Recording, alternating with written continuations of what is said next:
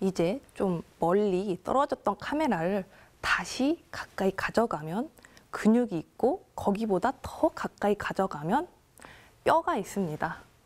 저는 개인적으로 뼈는 해부학의 아이콘이 아닐까 생각을 하는데요. 해골 하면 얼마나 친숙한가요? 여기저기 뭐 무늬, 일러스트, 그림 이런 걸로 굉장히 많이 쓰이죠. 그래서 숲에는 눈길을 끄는 꽃이 있다면 몸에서는 그게 뼈가 아닐까라고 생각을 합니다. 뼈는 뼈 하나로 이루어져 있지 않고 뼈와 뼈가 연결된 관절, 그리고 관절들이 이어져서 마치 건물의 철골처럼 그야말로 몸의 뼈대를 이룹니다. 그래서 몸은 관절로 이루어져 있다 해도 과언이 아닌데요. 아까 보셨던 제 발목, 무릎, 엉덩이 관절뿐만 아니라 지금 열심히 움직이고 있는 제 손에도 단위 면적당 가장 많은 수의 뼈가 모여 있습니다. 그 말은 관절도 많다는 거겠죠. 이렇게 굽혀지는 손가락 자체가 전부 다 관절인 겁니다. 그리고 손가락뿐만 아니라 손바닥에도 작은 뼈 8개가 옹기종기 모여서 서로 관절을 만들고 있습니다.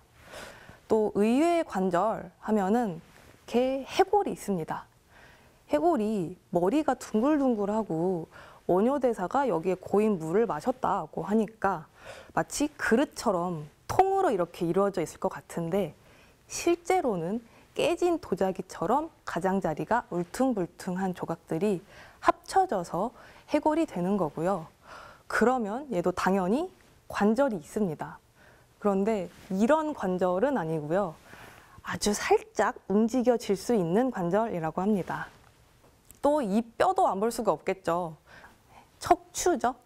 우리 모두의 고민거리가 될 예정인 척추입니다.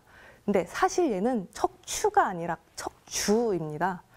둘이 뭐가 다르냐 하면 척추는 블럭 장난감으로 생각을 하시면 돼요. 이 블럭이 쌓이고 쌓이고 쌓이고 쌓여서 기둥이 된 게 척주입니다. 그러면 뼈가 뼈가 뼈가 있다면 이 사이사이도 전부 다 관절, 관절, 관절, 관절이겠죠. 이런 관절들은 뼈끼리 부딪히지 않게 하려고 사이에서 뭔가 보호를 해주고 있는데요. 이게 척추에서는 디스크라고 부르는 척추 사이 원반이겠죠.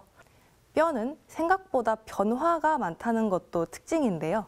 뼈를 구성하는 칼슘을 많이 잃게 되면 뼈 속의 구조물이 점점 없어지는 골다공증, 요즘 말로 뼈 엉성증이 될 수도 있고요. 그 반대로 뼈속 구조물을 점점 더 채워 넣을 수도 있습니다. 이거는 무거운 무게를 드는 근력 운동처럼 어떤 부하를 자꾸만 받게 되면 이 상황에 적응해서 뼈 속의 구조물을 점점 더 채우게 되는 거죠. 결과적으로 뼈가 튼튼해지는 겁니다. 이렇게 뼈 안쪽이 변하는 것 외에도 뼈 바깥에서도 변화가 생길 수가 있습니다. 이게 뼈고요. 이게 근육입니다. 아까 근육이 뼈에 붙어 있다고 했죠. 이 근육이 수축을 하면은 팔꿈치 방향으로 당겨지는데 이 힘이 너무나 강하면 뼈도 당겨지는 힘을 버티다 버티다 못해서 튀어나오게 됩니다. 당겨지는 방향으로 마치 자라듯이 튀어나오게 되는데요. 이게 아직 뼈가 다 여물지 않은 청소년들은 물론이고요. 뼈가 다 자란 성인들도 이러한 현상을 겪을 수 있습니다.